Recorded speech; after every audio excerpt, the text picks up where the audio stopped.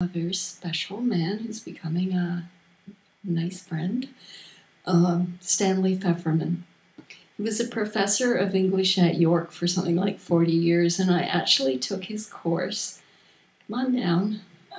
Uh, many years ago, and uh, he did Buddhism and literature, and I've never forgotten him on Leonard Cohen and Yeats. I know. Thank you. Thank you. Thank you. Thank you. Uh, it's funny you should mention Yeats because I'm going to open just with a remark on one of his poems. I've prepared a, just a suite of poems, four, uh, four little poems. They're on the subject of love, romantic love, and uh, the guru in romantic love, of course, is Yeats.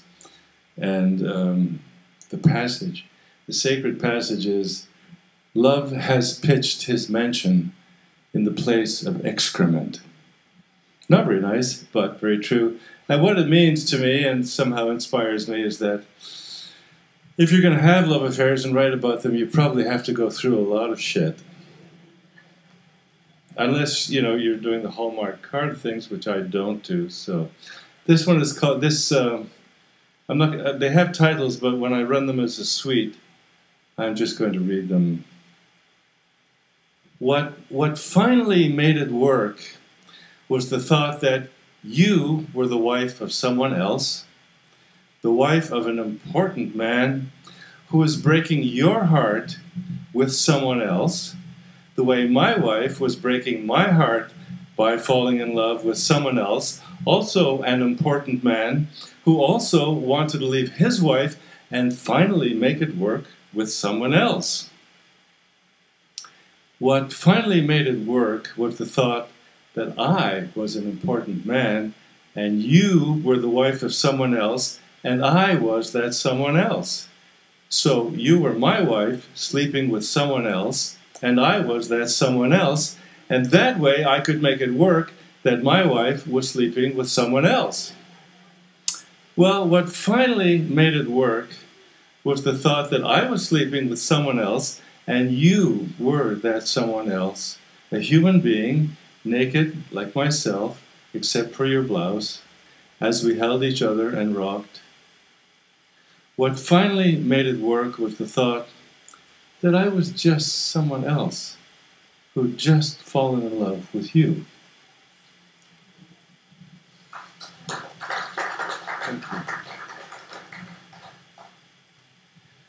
Your body curled under me like calligraphies of smoke from the burning tip of an incense stick set in the earth of a potted rose bush that stands on a table near the window.